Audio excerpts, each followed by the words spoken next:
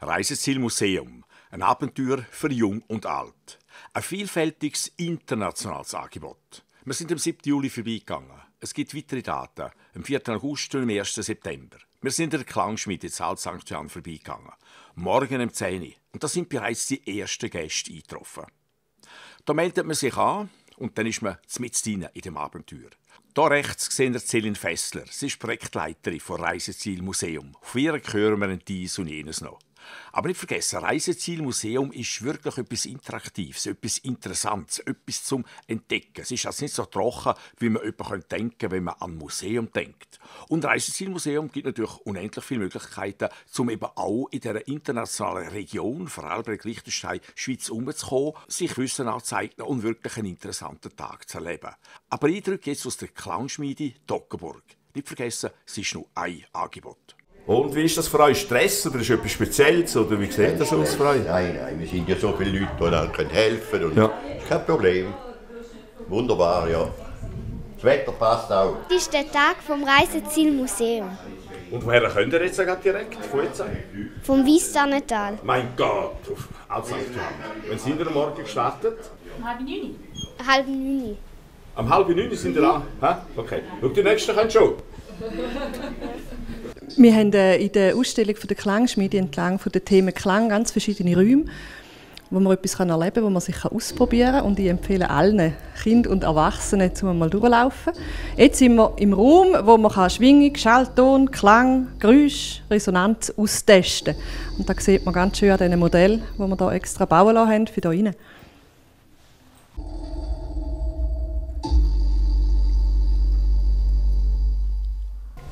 Da ist mit Sand wird aufgezeigt, was passiert mit den Schwingungen.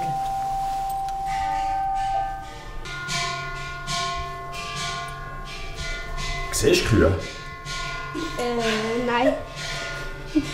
Wo sind jetzt die Kühe? Äh, da hinten. Ah, ja, genau.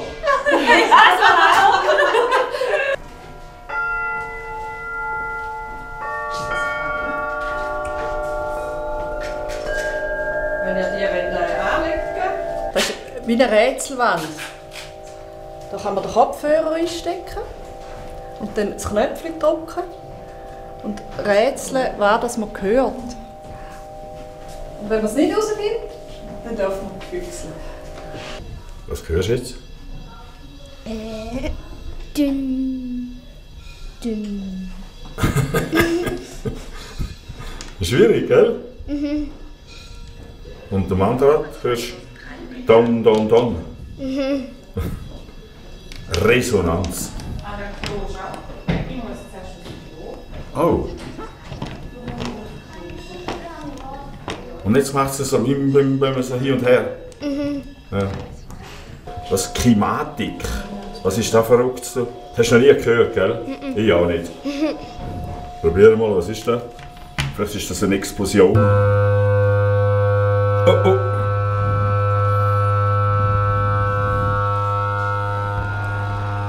Hey, Klimatik!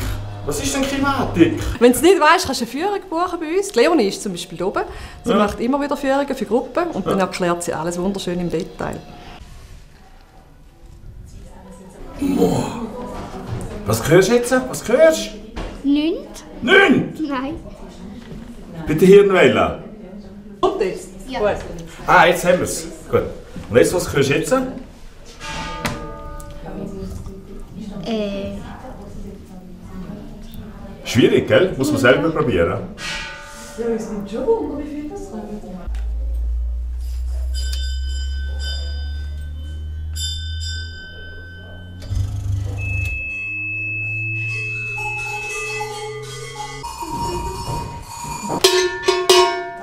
Und wie tief? Die andere, die grosse, was macht die? Geht nimm mal die grosse da. Die da. Ja. Wow. Magst du noch mit Helena? Woher könnt ihr? Von Freiberg. Höchst.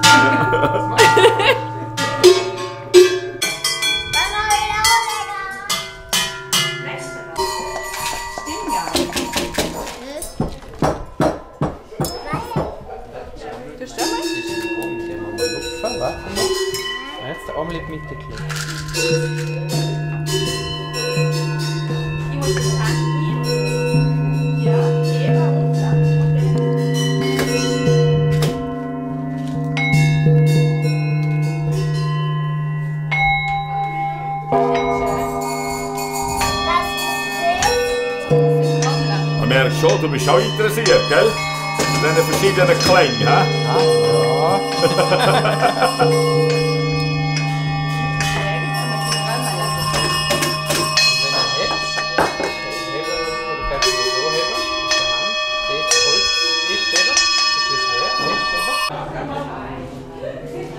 heben. Wenn man da rein kannst, glöckern. Gehen dritte Mal von, von Eltern Ja, her, jetzt ja. Das Ja. ist ein Pflichttermin.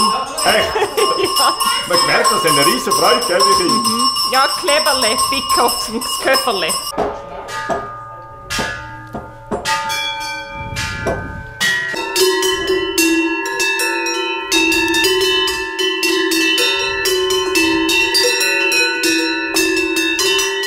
Den vielen interessanten Räumen, diesen Klangerlebnissen, gibt es auch einen Escape Room. Sie hat eine Gruppe von Erwachsenen daher geführt. Die haben nicht zum Reisezielmuseum gehört. Das ist mir gar nicht aufgefallen. Die haben wir natürlich nicht können filmen. Aber in den Alben haben wir können anschauen, wie sich das jemand abspielt oder wer wieder rausgekommen ist. Und ich habe mir gedacht, wir machen auch Escape. Und wir lassen sie auch. Miriam hat dort ein Escape. Sie muss ein Tal schwingen.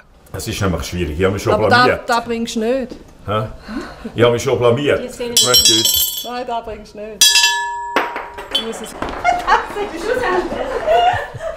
Susan hat's! Aber sieht gut aus. Nein, es ist. Hey! Hey, Applaus, hallo! Das ist jetzt auch nicht nichts, du. Aber ganz ehrlich, unter uns, selber überrascht, gell? Ja, jetzt bin ich ein bisschen überrascht. Ja, jetzt will ich es mal haben, oder? Also ein Bein bitte.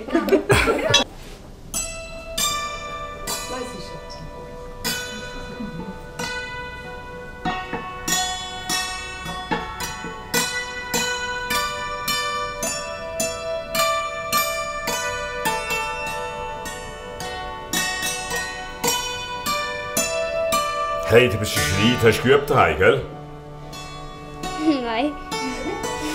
Das ist Pentatonik, hä? Ja, super! Also, ein Applaus wäre es wirklich auch wert, nicht?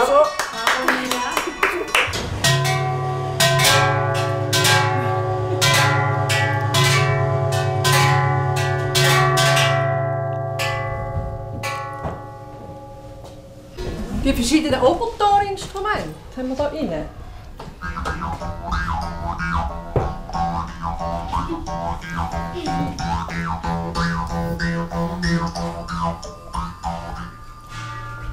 Da kann man, kann, auch mit der Stimme machen, gell? Da kann man auch mit der Stimme machen, genau. Aber es gibt ja auch Instrumente dazu. Ja. Und die wir hier vorstellen. Und die kann man alle durchlassen. Hast du die Mongolen beim Konzert, das ist ja unglaublich, die Obertöne, die die hergebracht haben, gell? Ja. Mit jahrelanger Und Übung. bei diesen Kursen, die ich jetzt und dann anbiete, kann man auch gerne, man singt macht oben den Oberton, ja. Ja, gibt Ja. spezielle Kurse für das. Wir haben ein grosses Kursprogramm. ja.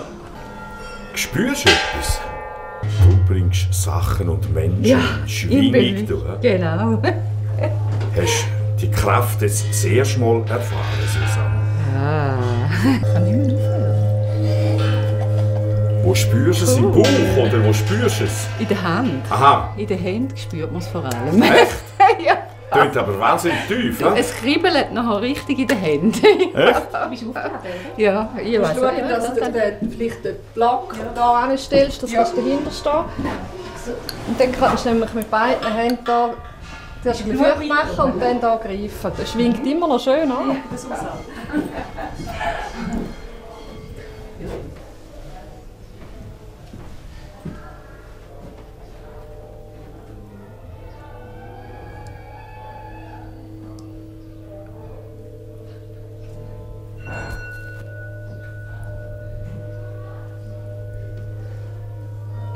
Spürst du etwas in den Händen? Ja. Kribbelt auch? ja. Meinst du, bei dir kribbelt es ein bisschen höher als bei der Susanne? hä?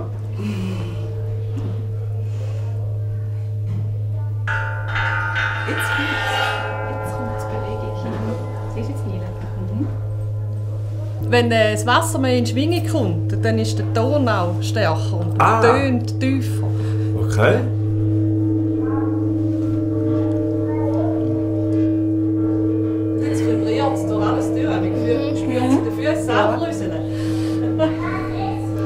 Fast ein bisschen mystisch, gell? Ja, ist so. Aber irgendwie auch so ursprünglich. Einfach das Gefühl, das ist so wahnsinnig ein, äh, so ein ursprüngliches Gefühl, für, wenn man so etwas macht, oder? Ja, ja sicher. Seli Fessler, Reiseziel Museum. Hast du etwas erzählen? Du bist ja langjährige Geschäftsleiterin und machst jetzt so das letzte Jahr noch, oder?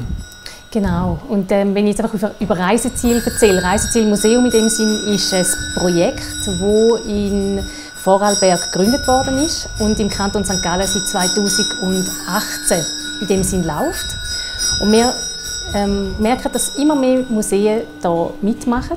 Das hat einfach auch damit zu tun, dass es ein sehr tolles Projekt ist. Und das Ziel von dem Projekt ist, dass Familien mit Kind für 1 Franken oder 1 Euro in die Museen kommen, ein spannendes Familienprogramm erleben und dann eigentlich so auch mit der Museumswelt in Kontakt kommen. Also Schweiz, Vorarlberg Und Liechtenstein. und genau. Liechtenstein. Ja, genau. Wie viele Museen sind das etwa? Aktuell sind es jetzt 51 Museen dieses Jahr. Das nimmt immer wieder so ein bisschen ab und wieder zu, das kommt immer darauf an. Ähm, aktuell haben wir jetzt der, im Kanton St. Gallen ein neues Museum für dieses Jahr, das ist Klangschmiede in Dockenburg, wo wir jetzt gerade aktuell sind. Und ähm, sonst ist es einfach ein so, dass es eins bis zwei Museen gibt, die dazukommen. Es gibt andere, die vielleicht mal eine Pause machen. Aber grundsätzlich ist es seit jetzt den drei Jahren, wo ich es mache, ist es jetzt immer konstant geblieben. Und ganz lässig ist, dass es auch immer wieder neue Regionen gibt, die können dazukommen können. Und wo wir auch froh sind, dass dann eben mehrere Museen aus einer Region mitmachen. So kann man wirklich besser umeinander reisen, gerade auch zwischen den verschiedenen Museen.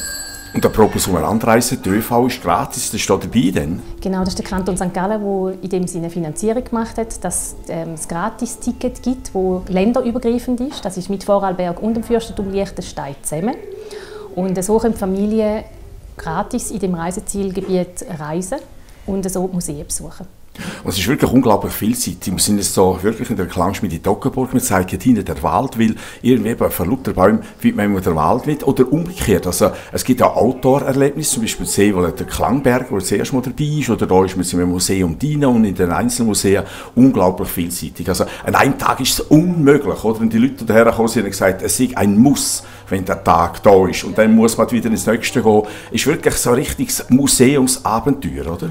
Das ist das, was wir von den meisten Familien hören, dass es ja in dem Sinne wirklich eine Abenteuerreise ist und dadurch, dass es sehr vielseitig ist, äh, gerade wie du es angesprochen hast, es hat so viele verschiedene Museen, wo so viele verschiedene Themen aufgreifen, ist es auch einfach spannend, um zu reisen. Und wir haben ganz viele Familien, die seit Jahren dabei sind und ähm, eigentlich wie so Tage dann auch strukturieren. Das ist meistens nicht möglich, um vielleicht so drei bis vier Museen pro Tag zu machen. Und an diesen Tagen strukturiert man dann das Programm oder sagt, hey, dort diese Museen gehen wir anschauen. Und am nächsten Sonntag, wenn es wieder Reiseziel ist, im August, dann machen wir wieder drei oder vier andere Museen und im September dann noch einmal dasselbe genau. Also man ist wirklich sehr frei, vielfältig, immer vom 10 Uhr bis am Abend um 5 Uhr sind die Museen dann geöffnet und bieten das Spezialprogramm an. Und bei deinen eigenen Kindern merkst du auch, gell, die sind wirklich motiviert, das hat man ja gesehen. Also du, ich du bist ja eher so ein bisschen St. Gallen orientiert, du bist ja interregional, bist jetzt von Wiestan hergekommen, ja, und äh, die, die Kinder sind da voll eben dabei gewesen, oder? Also natürlich bin ich ein bisschen St. Gallen orientiert, weil ich dort wohne in dem Sinn und ich arbeite auch in einem von diesen Museen, Kulturmuseum teilweise. Aber es ist wirklich so, dass es so viele spannende Museen gibt, auch kleine Museen, das ist eben genau so das Spannende an dem Ganzen. Kleine Museen, die wirklich wahre Perlen sind, wo man kann Programme entdecken kann, die man sonst im Alltag wirklich nicht würde. Und natürlich gibt es die grossen Museen, die immer ständig offen haben, die dann aber auch ein Spezialprogramm anbieten und für Kinder ganz speziell dann auch zum Beispiel Parkour machen oder etwas basteln. Und wir haben vorhin das Weisstannental angesprochen. Das ist ja auch ein Museum in dem Sinn, das sehr weit weg ist, aber auch dort lohnt sich die Anreise weil sie einfach vom Ort her sehr spannend sind und es gibt viele Möglichkeiten, wo man sich vertun kann. Und ich glaube, das ist auch das Ziel von Reiseziel Museum. Es geht nicht darum, einfach abklappern, sondern wirklich erleben und die Museen auch wirklich einzusaugen, weil das ist so einmalig. Und die Museen machen das den Kindern auch einfach. Übrigens auch den Erwachsenen. Es ist interaktiv. Es ist einfach etwas, ein paar Wände, die man anschauen kann und etwas erzählen kann. Sondern es ist wirklich interaktiv. Man kann wirklich etwas erleben.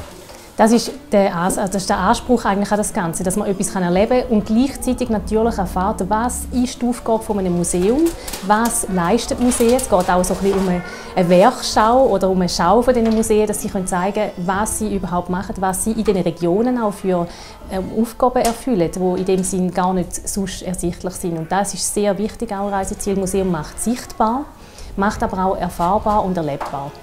Man kann sich selber erleben und vielleicht auch sich als Familie erleben. Jetzt du als Mutter mit deinem Kind vielleicht gerade ein bisschen anders kennenlernen.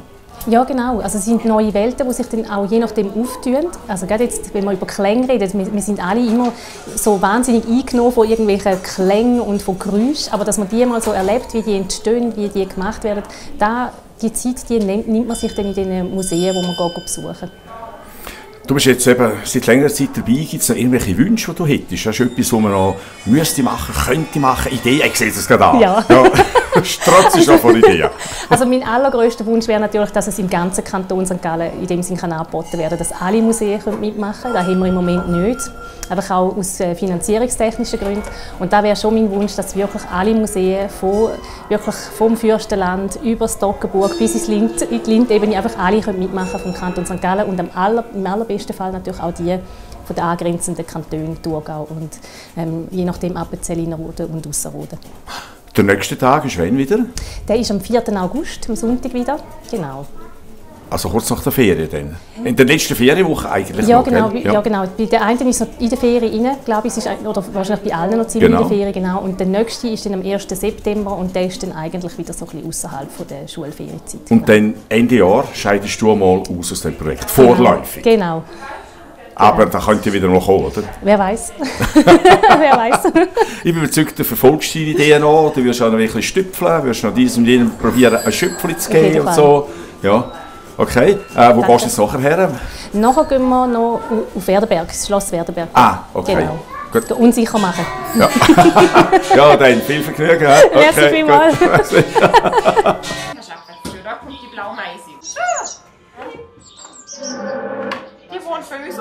Gell?